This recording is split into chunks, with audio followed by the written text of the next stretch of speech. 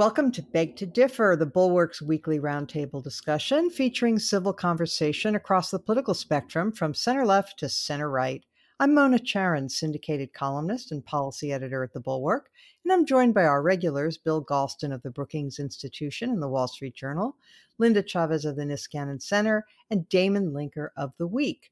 Our special guest is Anne Applebaum, noted author, contributor to The Atlantic, and um, author most recently of a piece that got our attention called Coexistence is the Only Option. Welcome, one and all. I want to jump right in with you, Anne, uh, because this uh, essay that you wrote, I think, touches upon the great question that all of us are facing in this um, post post uh, insurrection world. Uh, and I say that because it really has changed our sense of the stakes here. That that we don't just have, we're not just living in a divisive time. We're living in a time of um, severe, severe strains on our national life. And as you put it, I'll just read uh, from your piece. You said about the secessionists, you said they declared that they want to live in a different America from the one the rest of us inhabit, ruled over by a different president. And yet they cannot be wished away or sent away or somehow locked up. They will not leave of their own accord, and Americans who accept Biden's lawful victory won't either. We have no choice except to coexist.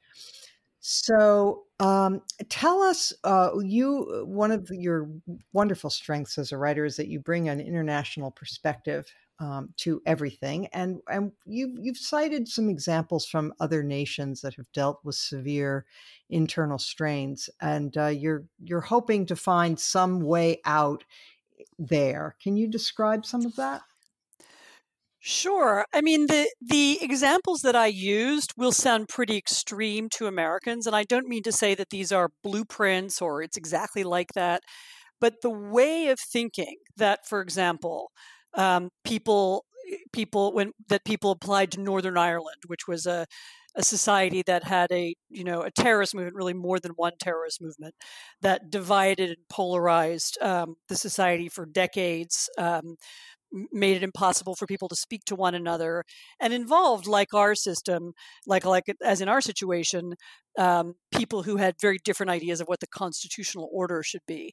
Um, or if you look at a country like colombia which had a violent insurgency for many decades and then had to reintegrate that the insurgents back into society after they declared the end of the civil war um, these are societies, and there are many others, that have practiced um, a set of techniques or policies that sometimes go under the rubric of peace building. Sometimes it's called conflict resolution or post conflict resolution. Um, and usually, what they involve is trying to find ways of getting having people get along without killing each other. Um, and since that is a relevant, that is now a you know a relevant problem in America, I thought, well, what does this look like in the context of the United States? And there's sort of two or three ideas that I borrowed. Um, one of them is the idea that if you have people who have to live together in a community and they have completely different ideas about how that community should be run, the very best thing you can do is not talk about it, um, which is very counterintuitive, drives people crazy. But you know the, the point is if you get a, a person who believes trump is president and a person who believes person who believes biden is president in the same room and have them argue about it it's not going to fix the problem. Um, and so it's much better to talk about something else. So talk about building a new road in your town or building bridges or you know at the national level um, talk about getting people vaccinated or getting um, you know getting the economy running again. I mean in a way i think that biden whether knowingly or intuitively i think he understands this and this was how his campaign was run. Um, and so far it's been how his presidency was run. In other words don't pick fights. You know don't go down the road of big constitutional arguments Instead, focus on things that we can all do together. And this is usually something that's done at a local level. I mean, I don't know, in Northern Irish villages, they would build a local community center together or something, or they would, I don't know, even literally putting up Christmas lights. There were things that people could do that were of mutual benefit to everybody and that didn't involve arguing over which country they lived in. Um, and there is something of that flavor, of that attitude that I think we need now, even though it's, as I said, profoundly annoying to people. I mean, there are obviously there are people who want um, anyone who committed a crime to be brought to justice, and this doesn't nullify that. And there are people who think, and I agree with them, that Donald Trump should be, um, you know, should be should pay a price for what he did. Um, nevertheless, that doesn't address the problem of the literally millions of people. We're talking about millions of Americans who don't accept the constitutional order. And so we need to be more creative in thinking about them. Another idea from that world of conflict resolution that I'll throw in um, is the idea that you find trusted messengers. So we on this podcast and most of us listening to this podcast are not in a position to be able to reach people who believe that Donald Trump is still president. Um, they don't listen to us. I mean, remember, these are people who now, it's not just that they don't believe the media, you know, or the mainstream media.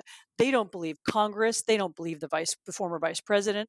They don't believe election officials in, in, in their states. They don't believe Republican election officials like the ones in Georgia and Arizona who certified the vote. They don't believe anybody.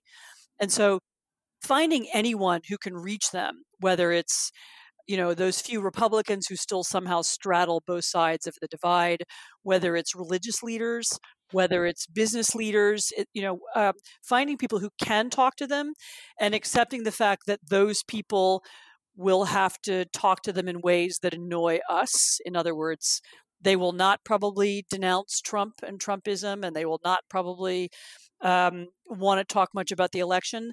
Um, yet, nevertheless, there are people who can somehow play a middling, useful role, and we should allow them to do it and praise them for doing it. I mean, I think Liz Cheney, even if you're annoyed that she spent four years um, enabling Donald Trump, I mean, she deserves praise for what she's done um, in the last few weeks. The same is true of Ben Sasse and the others in Congress and the Senate um, who've agreed, because they those are people who still have a chance of being able to reach some of their former constituents, um, and we should hope that they can that they can that they can serve that role. I mean, that's the general idea of the argument, and we can go into more detail if if if you want. But it's a, as I said, it's a little counterintuitive.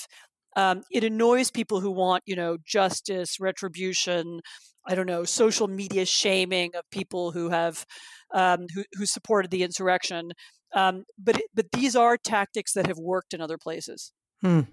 So part of the problem, and Damon, I'll bring you in. A part of the problem is that um, for for true cultists like the ones who attack the Capitol, and we don't know what percentage of the people who still support Trump. A recent poll said that 13 percent of uh, only 13 percent of Republicans uh, approve of a second impeachment, and 36 percent of Republicans say that Trump did nothing wrong, nothing. Um, but anyway, we don't know what percentage of of uh, of people in America are true cultists. But for those who are, um, there aren't any trusted intermediaries. I mean, it must come from the God King himself. I mean, for you know, the best example of that is that even Mike Pence, uh, you know, the faithful lieutenant, was you know went in the in a trice. He went in an instant from from being a, a, a someone that all of the Trump world respected to a sworn enemy they were ready to lynch. So that's that's a problem in, ter- in terms of um, you know anybody who might play a mediating role. It seems to me, and I'd like your views on this. Um, would be perhaps discredited the minute they attempted to undertake that role.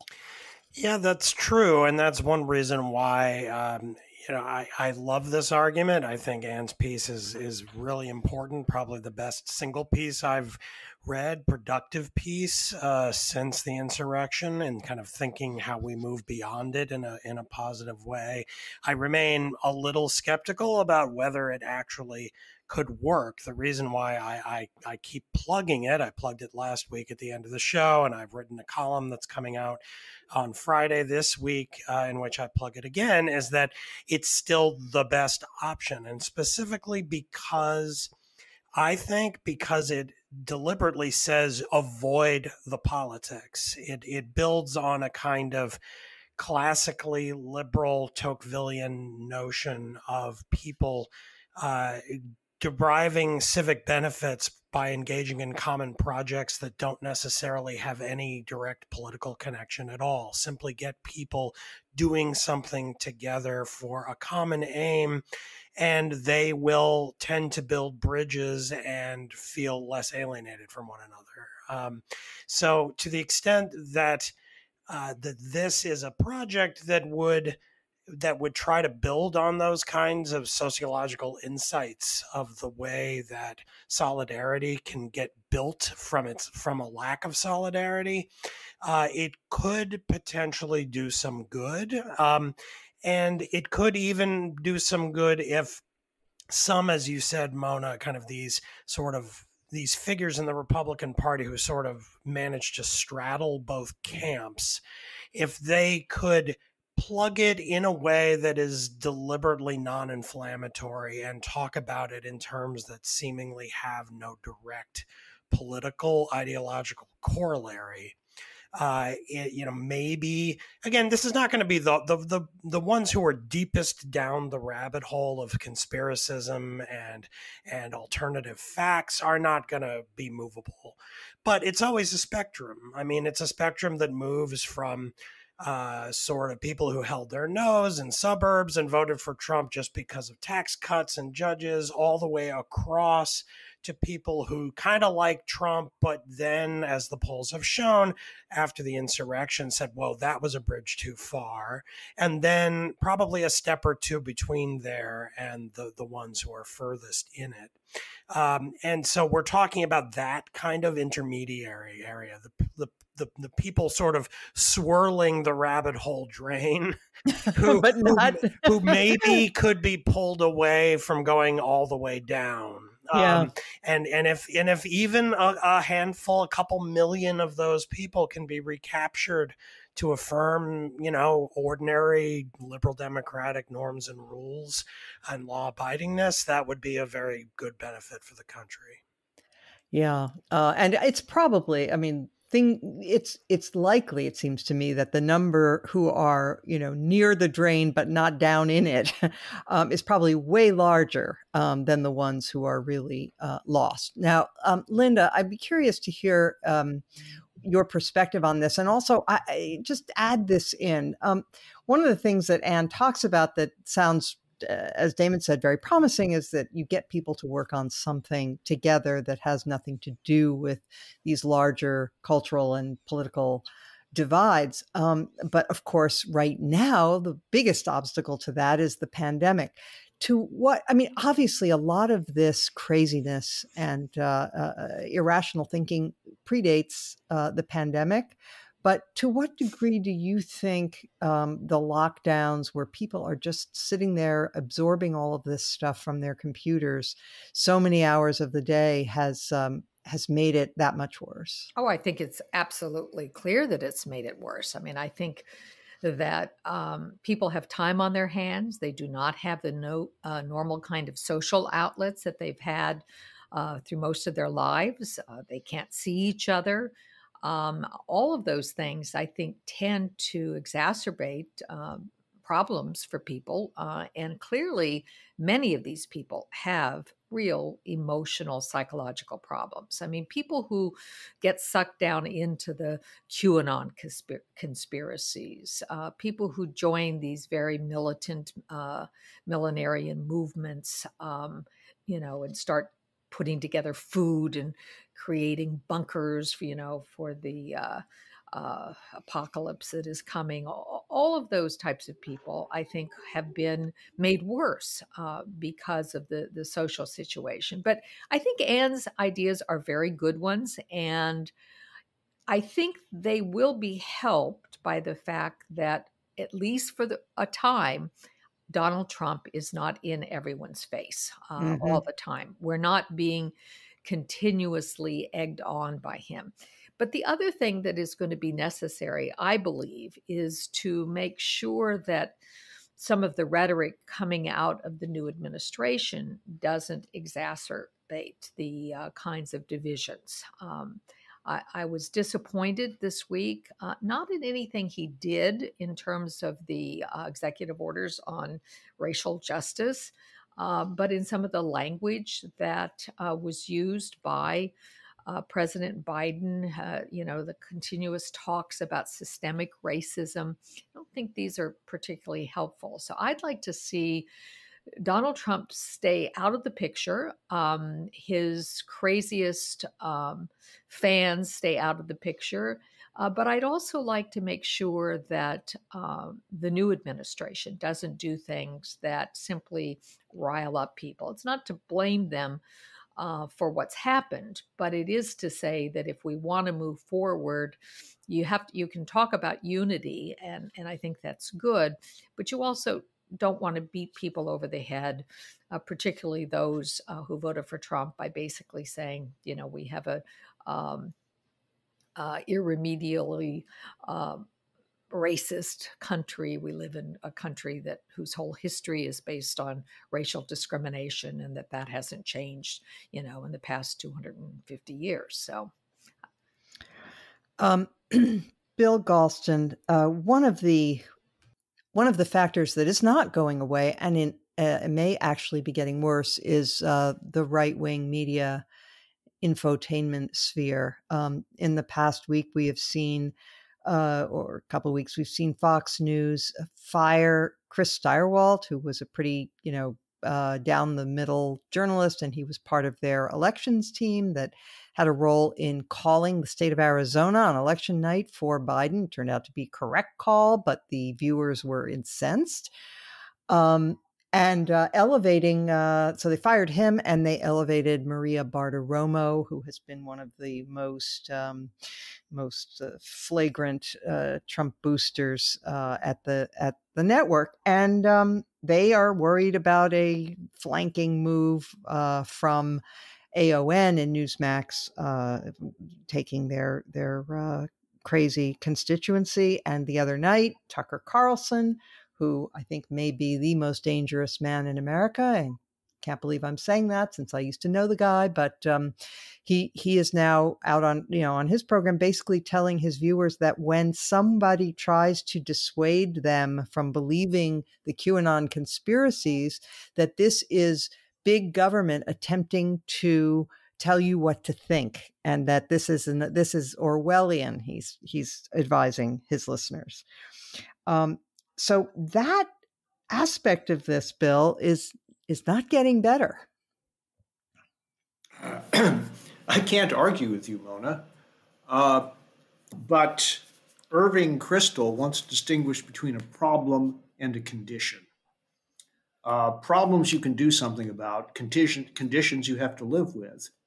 Uh, and I think you know Fox and OAN, uh, et cetera, are conditions that we're going to have to live with. Uh, it is not clear to me that, consistent with our constitutional traditions, we can do anything about irresponsible partisan media.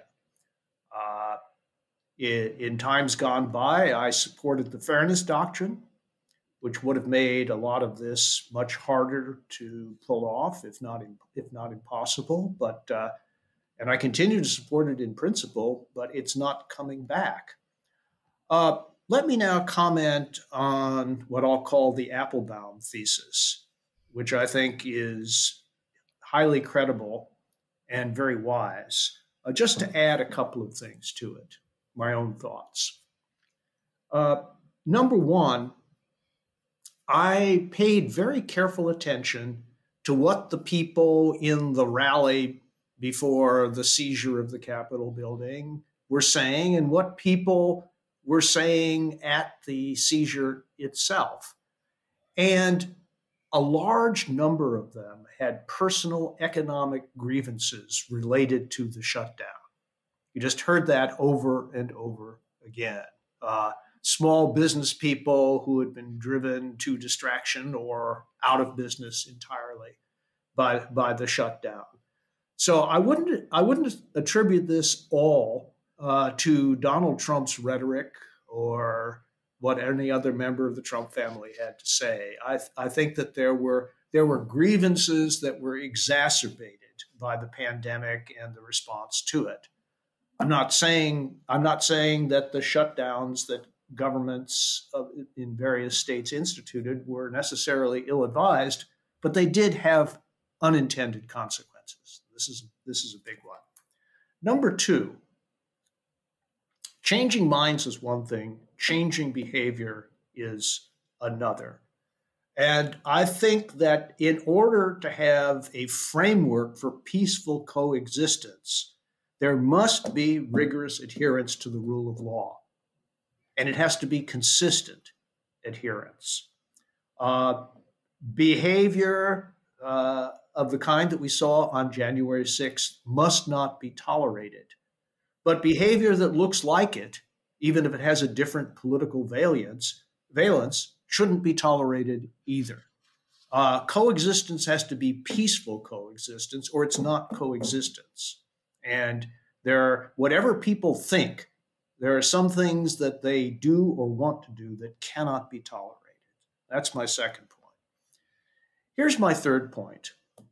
Uh, and this is an old man's point, but uh, I think I'm going to make it anyway. Uh, the only healing agent that's effective is time. When people's minds can't be changed, uh, the, the memory of grievances has to be given time to fade. Uh, 40, uh, 30 years after the Civil War, people were still waving the bloody shirt. 40 years after the Civil War ended, uh, those issues finally became ancient history rather than current events. Uh, we're going to have to live with this for a long time. We have to do what we can to live with it peacefully, but whatever we do, it's not going away soon. Uh, thank you all for those uh, wise comments. Um, I, I would like to turn now to um, something that should cheer us all up and make us aware that, you know, we're lucky that we are not living in Russia. Uh, because um, we saw an outbreak this week of um, protests across Russia. There were something like 100 cities where people took to the streets despite warnings not to by the FSB. Um, this was, of course, in protest of the jailing of Alexei Navalny, the clever, media savvy uh, opponent of Putin who was poisoned. Uh, what was it, six months ago or so, um, and uh, and was recuperating. He was arrested upon his return, his very brave return to Russia, um, on the charge that uh, he failed to meet his uh, parole obligations under a previous charge. of course, the reason he failed to meet his parole was because he was recuperating from being nearly killed by Putin in a German hospital. But anyway, he's he is back and uh, of course, he was jailed again, as I say. And um, I want to get a sense, Anne. I know you um, live part of the time in uh, in Poland, and uh, you keep a close eye on events uh, to your east. So, um, so I'd like to get your sense of um, Navalny. Uh, he seems, first of all, his his courage is just undeniable. Um, but I'm wondering, do you think of him as a Democrat, small d?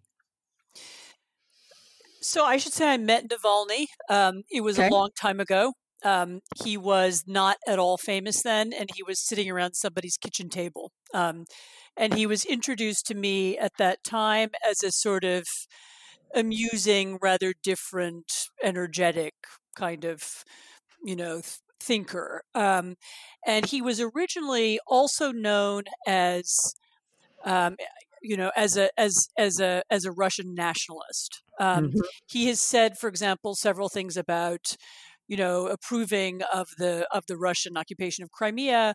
Um, he's expressed some doubt about the independence of Ukraine and Georgia. Um, he used he has used that language um, in the past, and um, and he is you know he is a this is one of the reasons why Ukrainian, um, you know, ind- independence-minded Ukrainians are nervous about him. Um, I should say, though, that the combination of nationalism and the combination of um, liberalism is not an unknown one. I mean, um, most countries that became democracies in the 19th century did so by fusing some sense of national identity with some desire for a more just state. Um, they do sometimes go together. Um, and so I, you know, I, I think it's also a little bit early. I mean, we should be so lucky as to have the problem of worrying about whether President Navalny is sufficiently democratic or not. That's fair. Um, so it's, you know, we're a little ahead of the curve on that since he's probably about to go to prison for a decade. Mm. Um, that seems to be the most likely outcome. Um, and the other thing I would say about it is that if you look at the crowds of people who came out, it's very possible in that crowd there were people who were definitely Democrats, who were definitely liberals, and the crowds, by the way, in dozens of cities all across the country. This is not just Moscow. Um, there were definitely Democrats, there were definitely liberals, there were definitely nationalists, and there were also just a lot of really pissed off young people. Um, who feel they live in a country that's deeply unfair, it's badly run, it's profoundly corrupt um, and who were inspired by Navalny's act of bravery to protest. And just by the way, since not all Americans know this, what Navalny did is really extraordinary. So he was out of the country. He was flown out after being poisoned. He was rescued in a German hospital. While he was in Germany, he and his team finished up a video, um, which is it's a long video. It's two hours long. It's very worth watching though if you've got the time. I watched um, it. Which is a deep dive into Putin's personal finances connected to, although not only to a vast and kind of grotesque palace that he's built on the Black Sea. Navalny put, you know, flew back into the country, and on the day he flew back with his wife, they published that video online. So he knew he was going to prison. He knew that this offensive thing, which now has upwards of 80, 90 million viewers, um, was going online, and yet he did it anyway. So this act of bravery has inspired a whole lot of people. Um, whether that is correctly described as a democratic movement or a nationalist movement or just a movement of really angry people, um, it's very hard to say. We have no polling in Russia or anything like that.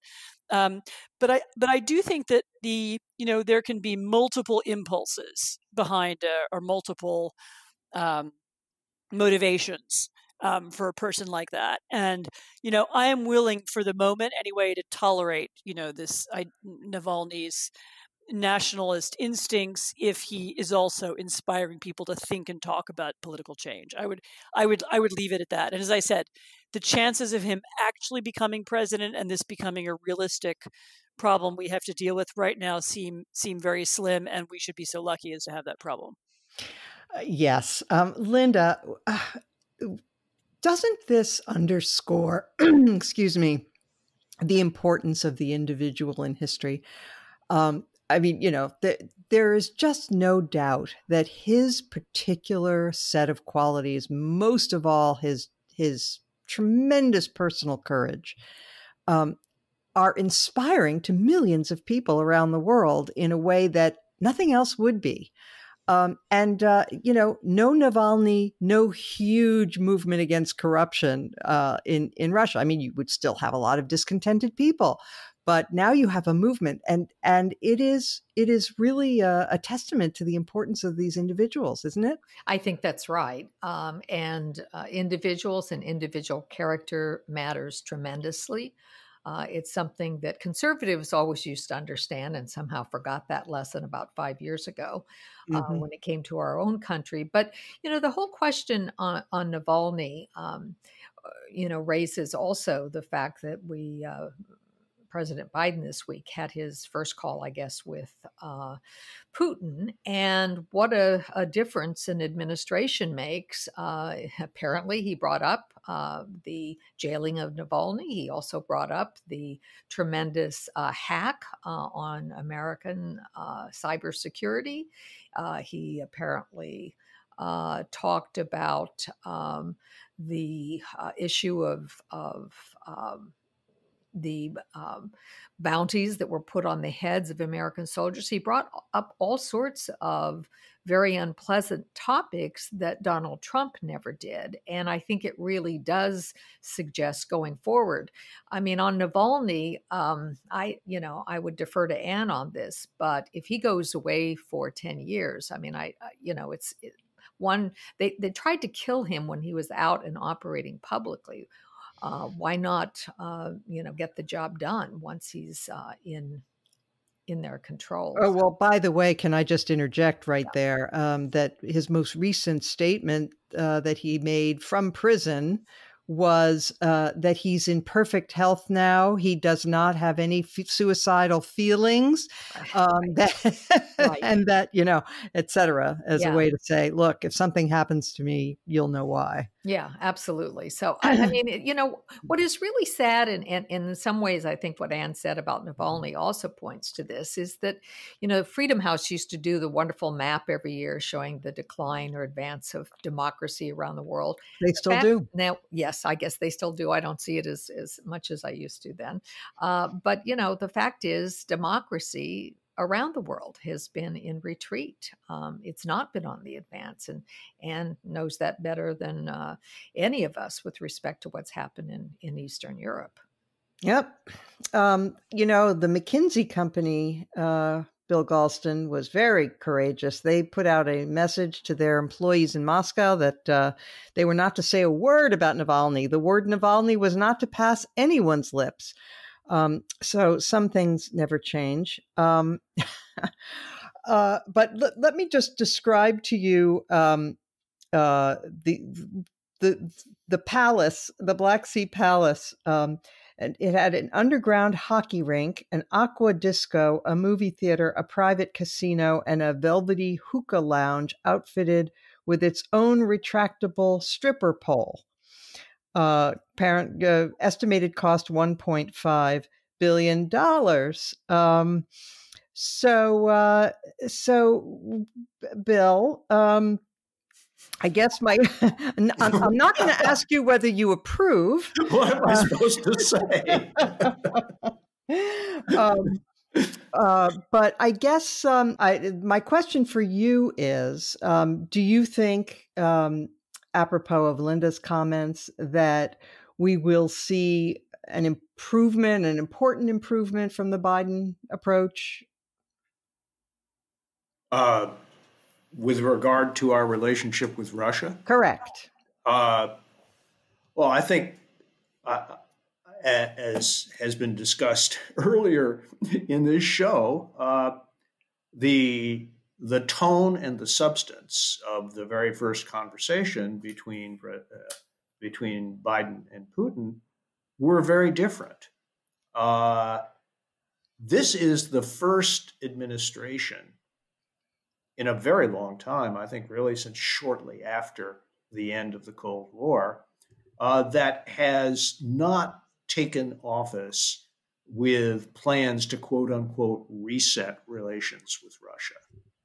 Uh, I think the the Biden people, for all sorts of reasons, are disposed to believe with uh, with Russia, what you see is what you get, uh, and until Putin leaves the scene, and there are other structural changes, and they're not building their policy on those assumptions.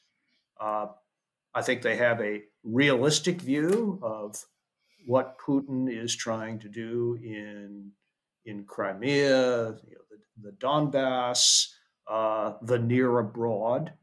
Uh, I think that they understand the the truth about the repeated Russian efforts uh, to use information technology to disrupt our economy and our politics, uh, and uh, they they understand, as any sane administration will, that there are areas where continued cooperation on the basis of, of self interest uh, is essential, like, for example, the extension of the New START treaty, which isn't a perfect treaty, but having it is a lot better than not having it, at least in my opinion.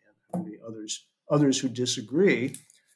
Uh, so I think we're we're in for wintry relationships between the United States and Russia through the Biden administration unless something fundamental changes and Mr. Putin makes a gesture to defuse at least one significant area of conflict.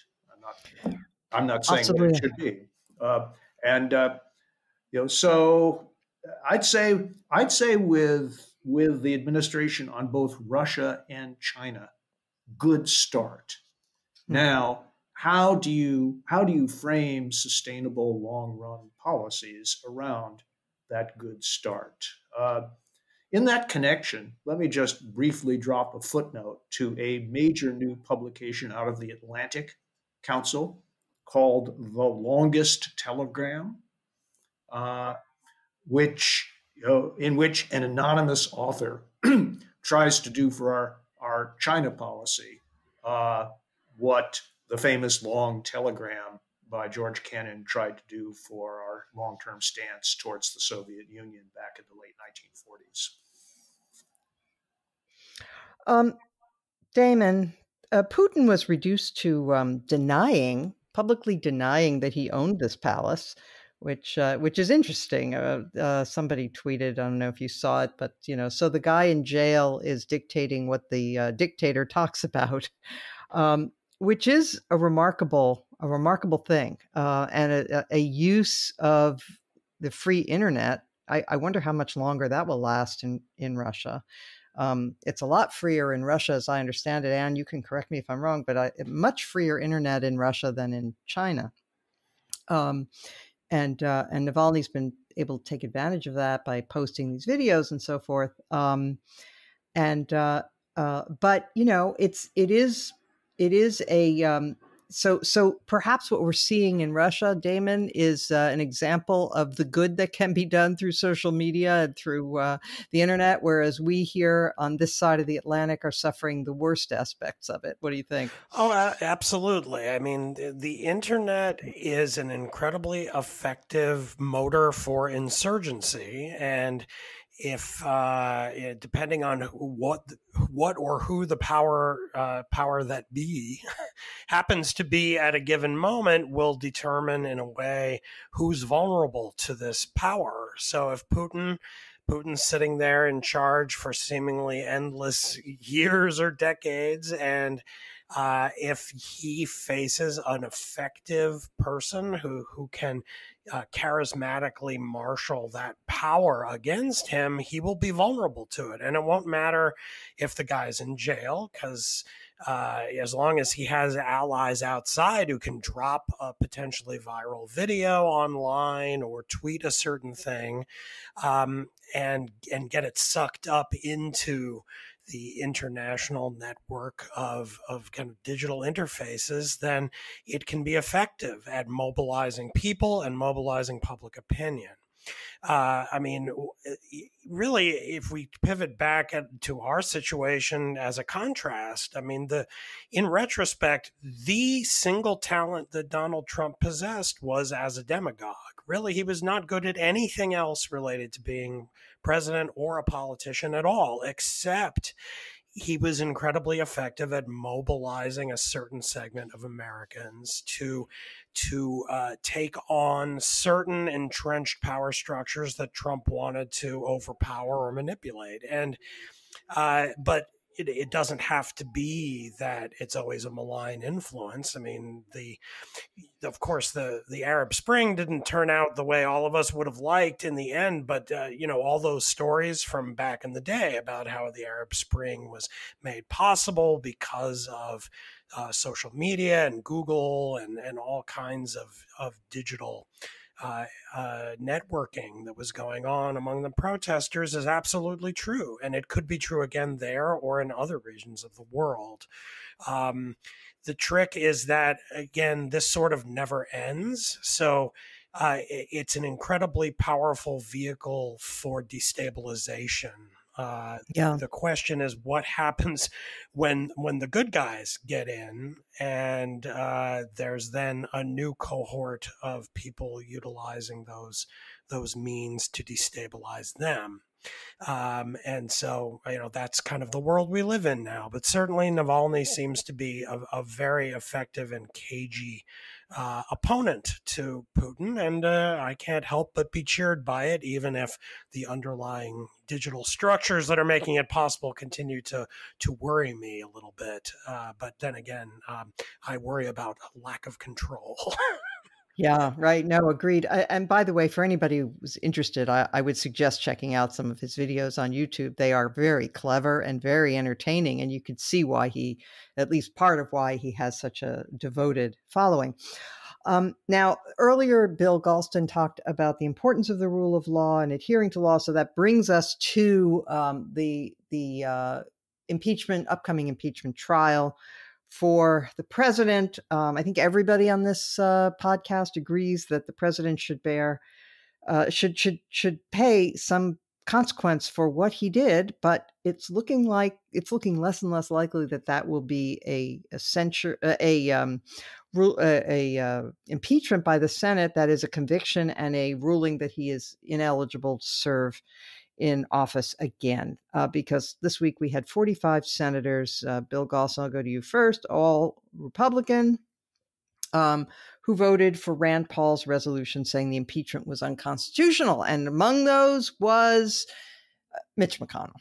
Uh, who earlier had suggested he would be open to uh, impeachment, or at least he had he had given it out that he might be. So, um, uh, does this mean that uh, that uh, this is a, a, defeat for accountability and the rule of law in America? it's a defeat only for people who imagined that another outcome was possible. as I think I've said before, the only way that conviction in the Senate had a chance uh, would have been for Mitch McConnell to publicly declare his support for it and persuade enough of his colleagues that purging the Republican Party was impossible unless and until they made it impossible for Donald Trump to return as president. Uh, and McConnell made the opposite decision, as you said. Uh, the constitutional issue is a perfect cover story. Perfect. Uh, and there is legitimate debate among constitutional scholars as to whether it would be constitutional to, uh, you know, to convict someone who's no longer in office. I know that various precedents from the Civil War era have been cited, but if you look at those precedents, they don't say what their proponents uh, say they're saying, and it's a genuinely undecided question. So it's it's not flat irresponsible or hypocritical for a senator to take the position, more in sorrow than in anger, uh, that well, I'd love to do something, but my hands are tied by the Constitution. Uh, if Donald Trump is going to pay a price, if he's going to be held accountable uh, it will be in through three ways uh, through the ordinary legal system, through the bankruptcy courts, and in the eyes of history. Um, and um, if you were a senator, uh, hope a Republican senator, uh, wouldn't you want to ensure that for the rest of your career, you would not have to have hanging over your head the fear that your family would be harassed on the way to the supermarket, that your life would be threatened, um, and so on by the Trumpkins uh, because they because he was still out there and still threatening to run for president again in 2024. Well, this is one of the psychological aspects of this story that I don't understand because it seems to me that from the perspective of Republicans in the Senate and other leaders of the Republican Party, getting rid of Donald Trump, putting him off the, you know, out of the game, you know, solves a lot of problems. Um, because the idea that, because one of the things that's clearly going to happen is when the Senate once again refuses to convict Trump, which we have to now assume will happen, I imagine the same thing will happen that we saw after the Mueller investigation let him off the hook, after the first impeachment. Trump will be re empowered. He will say, I am innocent. I am a victim. You know, all that grievance will well out and well over and infect his supporters. Um, you have, you know, traduced me, and he will come roaring back and he will make their lives miserable. So why even i mean forget justice you know forget patriotism. Why not? Why from the perspective of just self-preservation? Mm-hmm. you know why don't they want him out of the game? Why don't they want him impeached? I, I i'm mystified and i don't have a good answer. And even people like Rob Portman, who's retiring at the end of his term, not seeking reelection, uh, was not among those uh, who voted to let the thing proceed. Uh, it's amazing. Linda, um, your friend and mine, Nikki Haley. Actually, she's not my friend, but uh, she nor mine. okay, she said um, on the Laura Ingraham show. She said, um, "Oh, they this is this is the the new Republican line. You can see. Okay, they beat him up." Before he came into office, they beat him up while he was in office, and they're beating him up even after he's in office. I mean, at some point, give the man a break, she Aww, said. In my culture, we say, "Oh, pobrecito, poor, poor little one. Oh, I yes. feel so sorry for him." I mean, this is just disgusting. Um, I, I, just find um, the way in which we see people who want to run for president, primarily, pandering over this. Uh, you know, re- regardless of whether or not you agreed with his policies, and as we've discussed many times, uh, I agreed with many of his policies, not all of them uh, for sure, but many of them. But the man was very damaging to American democracy, and he should not be treated in this way. And the more, you know, uh, Kevin McCarthy is going down to kiss his ring today, uh, mm-hmm. down to Florida. Um, the more we see of that, the more they keep him alive. And I happen to agree with Bill. I think the criminal justice system, uh, and our tax system may, in fact, uh, be the end of Donald Trump. I think, frankly, his involvement in his politics is going to take a very far back seat to his trying to maintain what he has left of his wealth and uh, trying to get him out of some of the legal difficulties he's in. So he should be just allowed to, you know, go off into the sunset and play golf down at his many golf courses, which are not doing very well. Um, and and we ought not to be seeing these Republicans feeling like they still owe him something. They owe him nothing, and uh, he will continue to damage them. And I think uh, he has totally damaged the Republican Party. It's hard to see how it's going to recover from this, and in, certainly in the near future. Well, Damon, the Republican Party does not see it that way. Um, the uh, as as our friend uh, Bill Kristol tweeted this week, um, uh, Kevin McCarthy uh, has been more critical of of, um, of uh, Liz, uh, Liz, Cheney than of Marjorie Taylor Greene. Um, and by the way, Marjorie Taylor Greene, the QAnon congresswoman who has many other sins to her account, um, has been assigned to the Education and Labor Committee, which is a plum assignment in Congress. Um, so all, I mean, the, the signs are everywhere that, um, you know, a Texas legislator has induced, introduced a law that would have Texas secede. Sarah Sanders is running for governor of Arkansas. The Oregon GOP um, has uh, announced that the uh, issued a formal position that uh, the attack on the Capitol was a false flag operation mounted by Antifa. Um, and uh, so the Republican Party, uh, you know, with some honorable exceptions, and we all know their names. Um, in fact, unfortunately, we can count them on two hands um, the, the party is getting, even as Trump slinks off, the party is getting more Trumpy, not less. Right. Although I, I have no objection for now to describing it as Trumpy, as because we don't have a word for it exactly. I mean, we could we could probably come up with some colorful ones, but let's use that for now. I do think it's important to realize that, especially now that Trump is receding, he's been effectively silent for uh, you know, over two weeks now. Uh, he did have a little speech on the morning he left the White House, but it didn't get a huge amount of play because it got swamped by uh, Biden's inaugural address and all the events that day.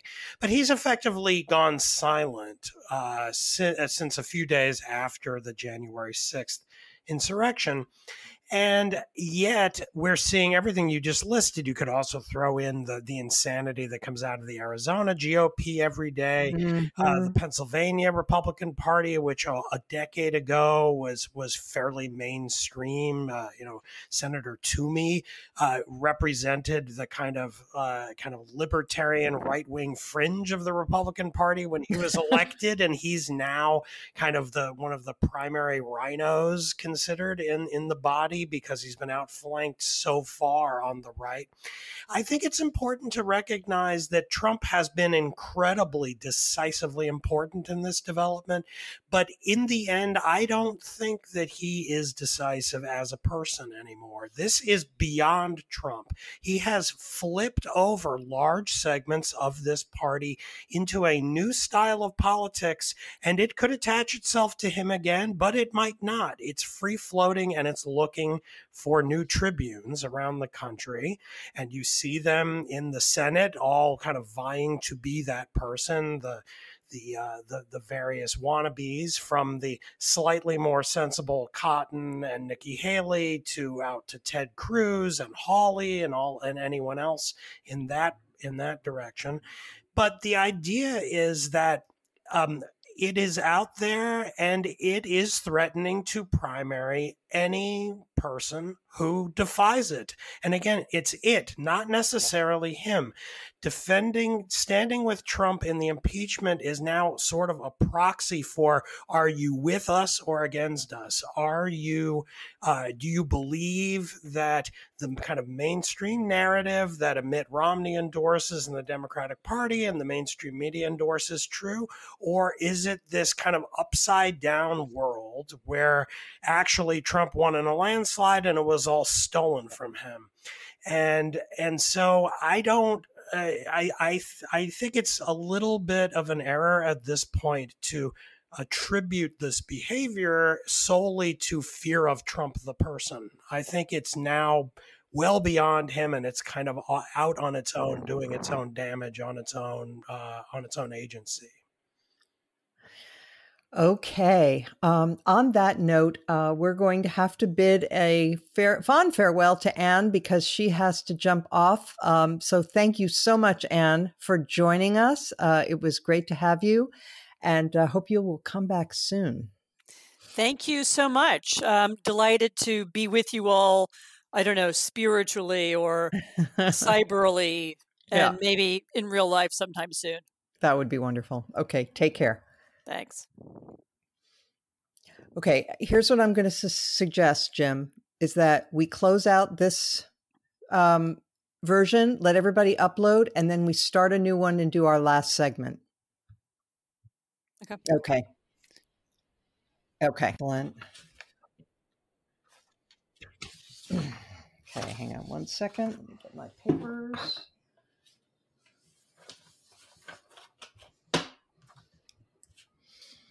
Okay. In three, two, one. Uh, always great to hear from Anne Applebaum. Uh, and now we turn to our final segment where we highlight something that we think needs more attention. So, Linda, I'll go first to you. Well, I'm going to give you a bit of good news, and that is well, it's not great news, but it's better news than we often get out of the state of Arizona. Apparently, Kelli Ward, the crazy woman who has mm-hmm. led the Arizona uh, GOP, uh, had was up for reelection, and she almost got defeated. She was uh, running against Sergio Arellano, and he apparently drew uh, 48.5%, and she got just over 51% of the vote. So she ended up winning. I thought you but, said this was good news. well, but but the fact that almost half of the state party was ready to throw the crazy woman over, um, I thought that was pretty good news. I mean, she's okay. you know supposedly been popular, and uh, I think it means, and he didn't, you know, no one expected her to even face much of a challenge. So I do think that there um, is an uh, uprising coming in Arizona politics. Uh, I think that uh, Jeff Flake uh, noted recently that over 9,000 Republicans left right after the January 6th uh, insurrection at the Capitol. And that I think means that, you know, we already saw that uh, Republicans lost Arizona. And who knows, maybe next time around they will actually knock off Kelli Ward. Okay. Well, and uh, for what it's worth, I'll throw in the fact that the Virginia Senate actually sanctioned Amanda Chase, member of the Virginia Senate running for governor, complete nutcase who praised the rioters as patriots and has committed any number of other sins, encouraged the president to declare martial law and so forth. So she's been sanctioned, including by three Republicans. That's not nothing, I guess. Bill Galston. Yeah, we seem to be defining good news down. but but uh, so, so be it. Uh, I have a file folder at home labeled Annals of Human Stupidity. Uh, very thick file, is it? A very thick file. And if I live a really long life and I've run out of other things to do, I'm going to write it up into a really snippy book, uh, which will give me a great deal of gratification to write, even if no one reads it. Uh, at any rate, uh, the Gallup organization just discussed today a poll that it commissioned and conducted recently on the willingness of frontline healthcare workers and first responders to get vaccinated. Here, friends, are the results 49% said that they were willing to get vaccinated, 34% uh, said they weren't, and 18% said, Well, I'm not sure, check back with me. okay, so these are the most vulnerable people in the entire workforce, and not even half of them are willing to get vaccinated. How are we supposed to understand this? Hmm. Uh, that's it's worrisome, all right. Um, and uh, some of it is, I I would guess, uh, I would guess, you know, the anti-vaxer paranoia that's out there, and the other part is the biggest part is probably the Trump misinformation. Damon, well, I actually uh, will break from tradition and be the true uh, cheery optimist today okay. um, with my selection, um, and and this will go in the in the category of let's really double and triple down on realizing that we are past the Trump era and we're back to politics being about what policies should we pursue to make the country better? And on that note, I want to point to um, a uh, a relatively new Substack that has been launched by Matthew Yglesias. Now, for listeners who aren't like looped into the journalism world, Substack is basically like a blogging platform that an um, an enormously large number of prominent journalists have joined in recent months uh, to kind of be independent and no longer kind of overseen by editors who seem to feel like they're constraining them or if they get canceled and have to go out on their own, they join Substack. Matt Yglesias, who was co founder of the website Vox, ended up quitting there a few months ago and started the Substack. It is so good. Hmm. He, he publishes one fairly lengthy policy related post a day during the week, and it arrives in my email early in the morning. So it's there when I first wake up.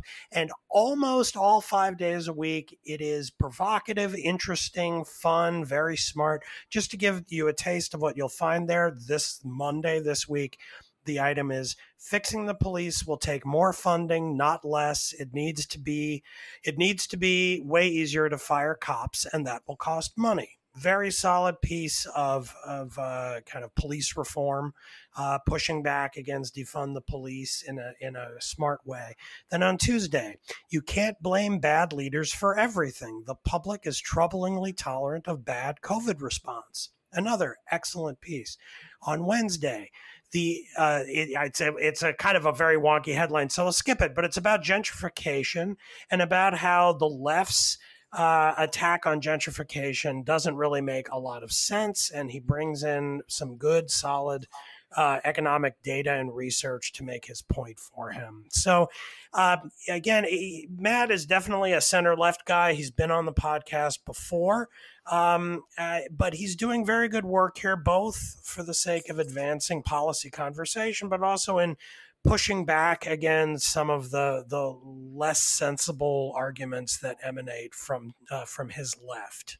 So uh, it's good work and it's fun uh, and smart. So I recommend it to everyone. Excellent. We'll have to have him back if he will join us again. I hope he will. Um, yes. All right. I have two items uh, really quick. One is um, that, as you know, there are um, new variants of the coronavirus uh, that are showing up around the world. There's a Brazilian one, a South African one, the UK one, and so forth. And there's another one that seems to have originated here uh, in the US. Um, but um, but we are um, not really handling this very well. Um, uh, this this it seems to me needs immediate attention, and uh, I hope that the administration will consider the old fashioned quarantine that other countries do and that we have done very inconsistently and badly. Um, we've sort of encouraged people to quarantine um, when they get here from these countries. First of all, travel bans are good, but also uh, enforcing quarantines either by making sure people stay in a hotel for 10 days or whatever until they can pass a negative test um, um, or um, there are other other things that other countries do and uh, we should seriously consider that because um, some of these new variants, I mean, we're we're already lagging in terms of immunization, and some of these variants may be a little bit more resistant to the uh, vaccine. So that just seems to me to be common sense. I hope we will look into that. And the second thing is just to echo a point that has been made by two former guests on this podcast, Charles Lane uh, and Catherine Rampell, namely that the Democrats are looking at huge amounts of spending, which is fine. We are in a really serious emergency. But a lot of their spending on uh, coronavirus relief envisions sending money to everyone. This is a terrible idea. There are lots of Americans, uh, myself included, who do not need the money and um, who are not you know facing real uh, emergencies and therefore should not be getting checks and it should be more narrowly tailored uh, to people who have been hurt or who are below a certain income level or something. I mean, it just makes no sense to send uh, checks to everyone and deepen the deficit for those who really aren't in need. Pardon me. And with that, we thank you all for listening, and we will be back next week as every week.